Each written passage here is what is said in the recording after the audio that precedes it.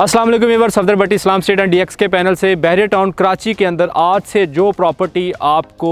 बहुत ही कमाल की लोकेशन की, तकरीबन दो करोड़ की 500 गज़ और इसी तरीके से हज़ार गज़ की बात करते हैं तो वो आपको कोई साढ़े तीन पौने चार करोड़ से लेकर साढ़े चार करोड़ तक की प्राइस इधर मिलती थी और लोकेशन भी इतनी कमाल की कि मेन जना एवेन्यू के ऊपर बिल्कुल मैं रिसेंट सेवनटीन की बात कर रहा हूँ, इसके अंदर आज वही प्लॉट आपको एक करोड़ पचास, पचपन, साठ लाख से लेके और इसी तरह एक अच्छे से अच्छा प्लॉट आपको दो करोड़ तक जो है वो एक्स्ट्रा लैंड के साथ मिलता है। और इसी तरीके से मैं अगर हज़ार गज़ की बात करता हूँ तो हज़ार गज़ का जो प्लॉट है वो आपको तीन करोड़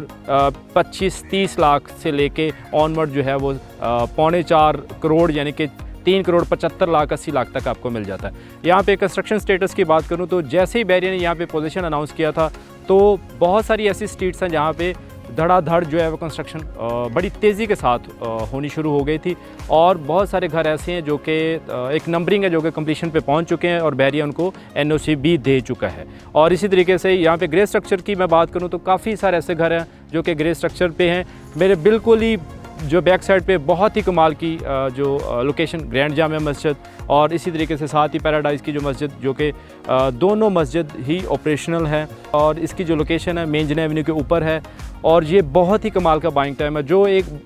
बंदा एक अच्छा आरओआई लेना चाहता है तो वह जल्दी से जल्दी यहाँ पर एक मुनासिब अमाउंट के अंदर प्लाट को परचेज़ करे और एक अच्छा से अच्छा आर भी कमा सकता है।